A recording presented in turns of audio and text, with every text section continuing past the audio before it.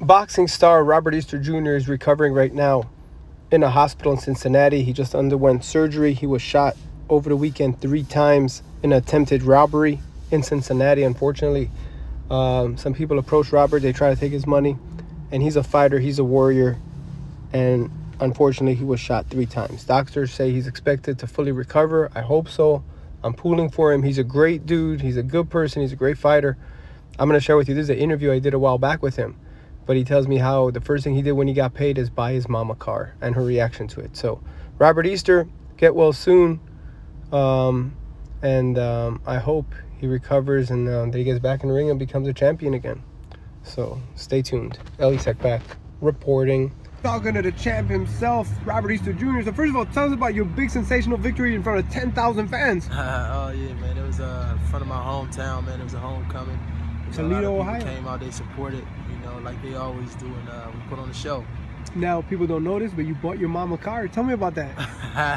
That's very nice yeah, of you. Yeah, man. Um, I bought my mom a car, man. She never had a new car in her life, you know what I'm saying? And I'm uh, was put in a position to uh, bless her, you know what I'm saying? So that's what I did on Valentine's Day, and um, you know she enjoying it. She I don't think she uh, got out the car yet. what kind of car is it? Uh, it's a uh, Chrysler 200. Wow, so she's balling now. Oh, yeah. what did she say? She she was she, she shocked? Was yeah, she crying oh, yeah. or? She, she, was shocked, man. She was shocked, and um, she said she didn't want to cry in front of all them people because she was around a lot of people, and uh, when I surprised her, but you know she was happy. She was what did your happy. dad say? Uh, he he went with me to get the car, you know, and uh, pretty soon I'm a uh, uh, surprise. Is that six four we're hearing?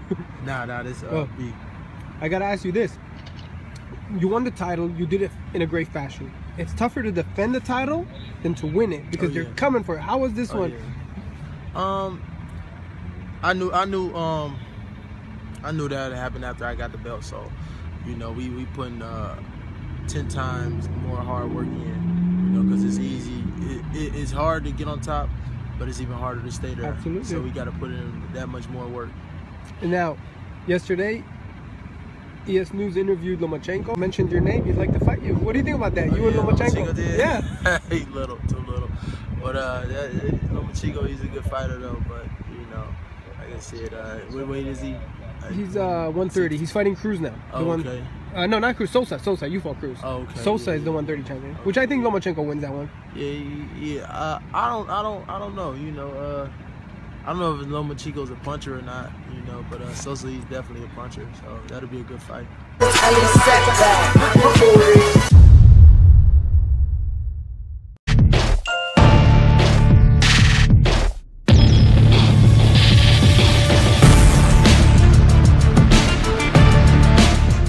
I'm Elie Seckbach. Elie Seckbach reporting for ESNewsReporting.com. I'm Elie Seckbach reporting. ESNewsReporting.com. I'm Elisek back reporting.